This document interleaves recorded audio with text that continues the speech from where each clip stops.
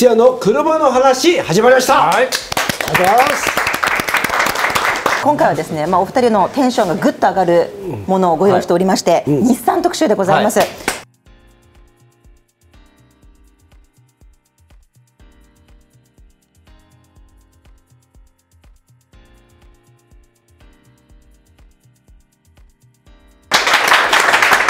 ね、はい、僕の100倍喋りますから。もう今日喋っていいですよね。もちろん全然いいですよ。さあ今日よろしくお願いします。よろしくお願いします。今日はですねお二人をお招きしまして、うん、フェアレディ Z を徹底解剖していきたいと思っております。題してフェアレディ Z スペシャルでございます。これはもうさこれだけでさ一年は持つね。思いますよ。全然持つで持つよね。全然持つ。はい。あの今年の1月に行われました東京オートサロンで7代目が披露されましたこのフェアレディ Z ですけれども、どういう進化を今まで遂げてきたのかということをまあちょっと紐解いていきたいなと、歴史を振り返ってみたいなというふうに思います。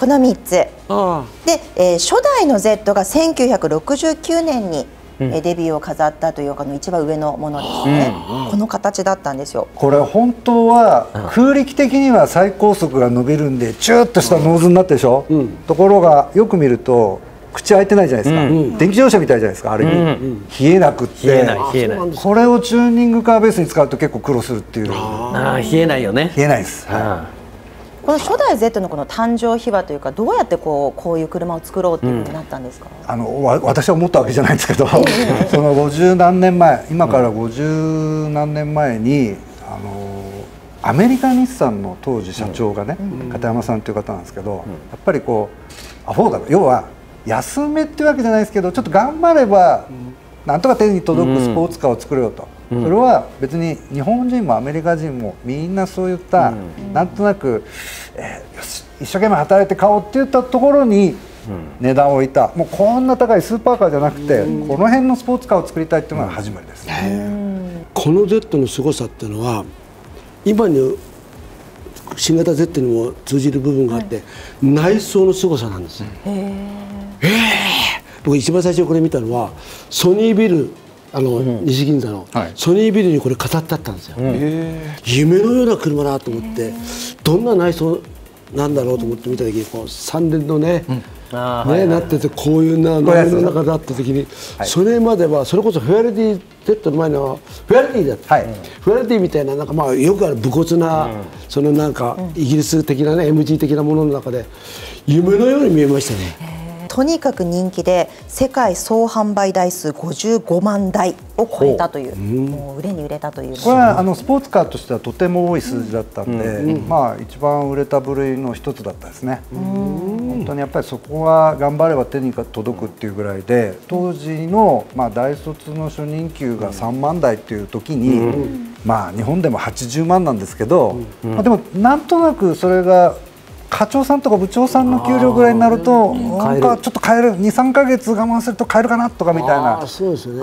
実は今も同じような設定にしてるんですけどもやっぱその頑張れば手に届くっていうところがちょっと日本的でいいじゃないですか。やっぱり頑張頑張らないとっていうことで、さあそして？そして、はい、2代目。代目見てみましょうか。こちらでございます。1978年に2代目 Z 誕生。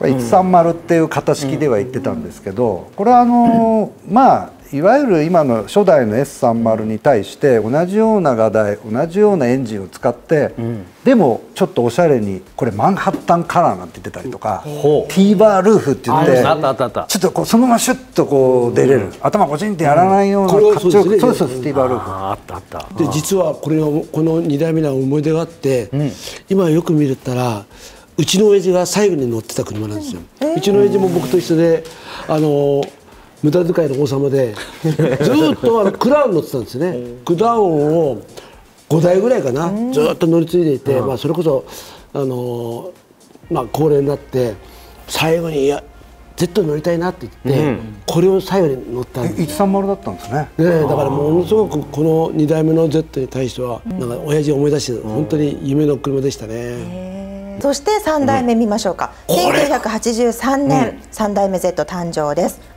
だいぶちょっと雰囲気変わりました、これね S 30とか130から型式がそれこそこれで Z って名乗り出して Z31、初の V6 だったんですよ。ああそっか。これが V6 を載せこれね実はややこしいんですけど、V6 を載せたところから途中で RB のまた直録をやってたりするんですけど、とにかく Z は初めて V6 載せたのがこれだったんで、まあまあちょっとノーズが短くなり始めるんですよね。でこれ今実は中古車ですごい売れてるんですよ。売れてるっていうか人気上がってきてるんですよね、だからなんとかなこんなこと言っちゃうと怒られるけどもなんか醜いアヒルの子が時を経つとなんかかっこよくなってくるみたいな、そういうのでね僕は決してこれ悪くない、これねリトラクタブルっていうのももう。ちょっと使ってたりとか、まあ、当時のある意味の流行りもねちょっとこう入でこれなんかれたっていうの眠そうがな顔してるでしょ、こういう感じですだからこう中途半端なデトラクタブルなんですよね。ライトが見えてる。うんち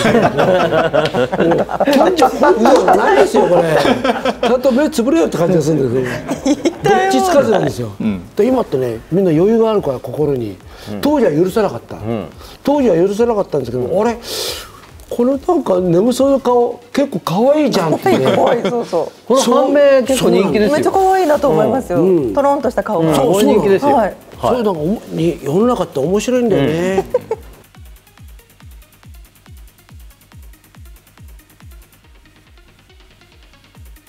じゃあ4代目の Z 見ましょう、はいはい。これはかなり当時ミッドフォー2っていうミッドフォーのそのミッドシップのそのなんていうかデザインをモチーフにっていうところも入ってるんですね。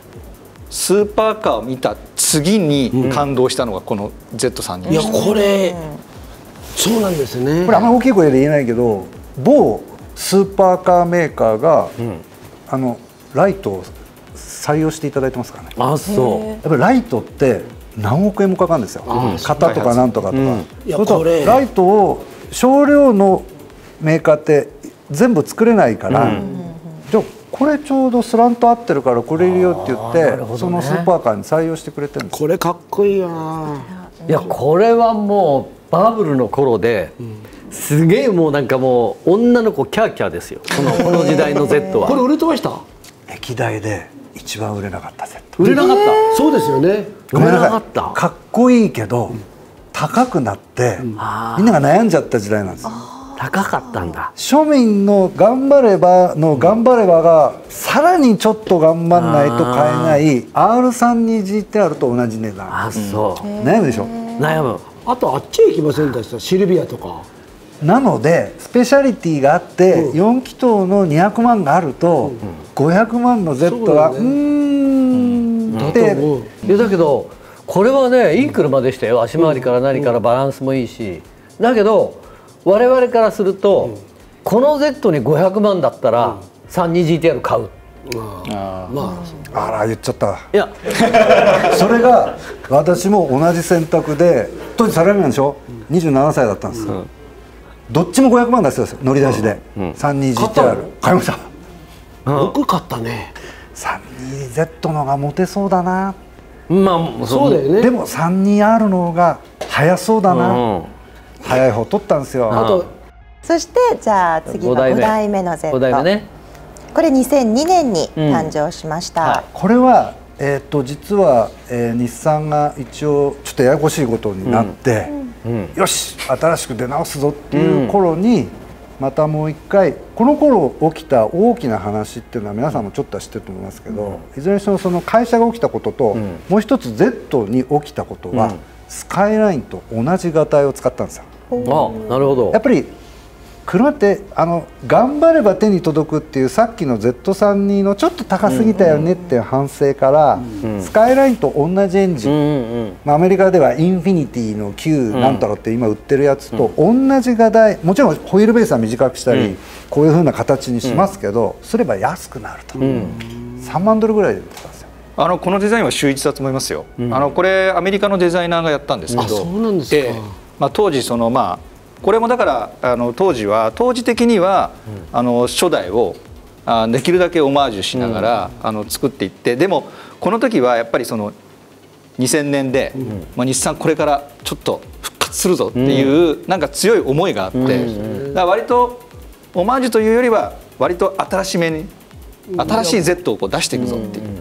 この5代目は本当に憧れたな。これは売れたの？これがそのおっしゃるようにちょっと落ち目だった Z さんに、Z さんに人気もあるしかっこいいって言っていただいたんですけど、高い。まあ、ビジネスとしてはちょっとあんまうまくいかなかったんで、やっぱりこれでもう一回復活商売もうまくいったっていう状況になりました。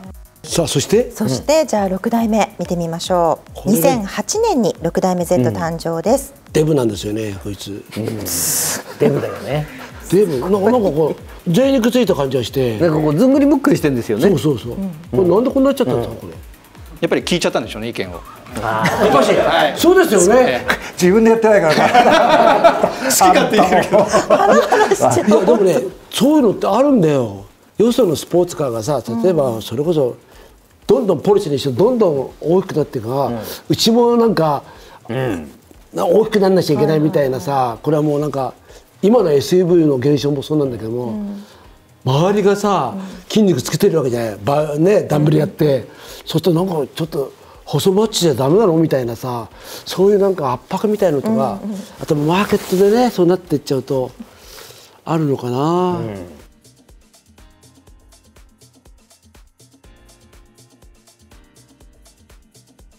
最新作7代目 Z やってまいりました。これはもう Z30 を彷彿させますよこれを作ろうと思った。まず最初はいつ、それでどういうこういうのって最初に話し合いがあるんですか、あのね、まあ忘れもしない、2017年3月1日、手書きの鉛筆書きのね、メモをある役員のところに持ってって、やっぱり Z やろうよと、うん。日産の魂じゃんと。うん。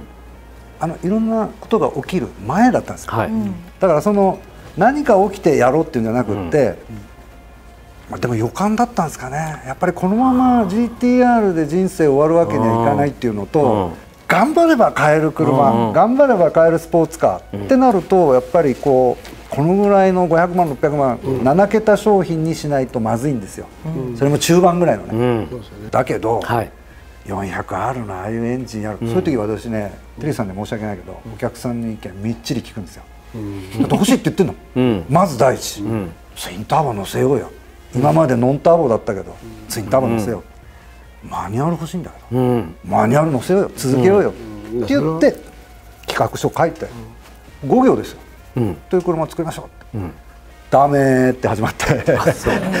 ダメに決まってるじゃん、そんなお金あったら次の GTR の頭金してよとか言われて、いやー欲しいって言ってる間になんか世の中がガラガラガラガラ音を立ててこう動き出したらもうみんながねやりたいやりたいって言うから。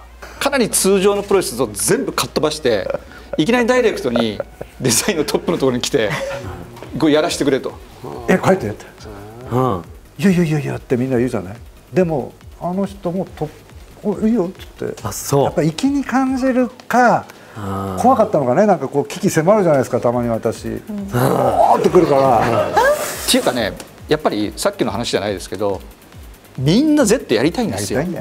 スポーツカーやりたいんです、うん。そうだよね、まあいろいろしがらみあっても華やかだもんね。そうなんです。やりたいんです。みんなそれを思ってるんですよ。僕が最初にこれ見たのはまあベストカーでこん。なの出るって時、こんなかっこいいのが出るんだと、頼むからこのまま出てほしいってよくあるじゃないですか、最初の時と市販するとこんなに変わっちゃいましたって。いろいろありましたよ。もうそれを思ってこのまま出てほしいと本当にね泣いてました私。このまま出しましたよ。出しました。このまま。出しましたよ。いやだからこれはすごいと思う。この時代に日産のこう底力を感じる車ですよこれ。本当に。これは。普通だとやっぱり自動車メーカー勇気がないの。やこんなこんな。ことできないの普通はこの時代。これこれねから電気自動車になっていく時代でしょ？ない。いやもう。それをやっぱこう今これを出すってさもうなんか日産の意地を感じます。さんよくぞ言ってくれました。もうねその嵐なんだけど、やっぱりそこが日産自分で言うけど、そこの DNA ってちゃんとあって、ん。やっぱりやろうよがはい。やっぱりいるじゃないですか、そういう地下組織なんなりをこう集めてくると、それなりにでっかいパワーと勢いになるから経営者たちも納得してくれるんですよね。いやだからそれはさ田村さんみたいな熱い人がいるからじゃないだから心配なのは田村さんみたいな熱い人がいなくなった会社ってどうなるのかな？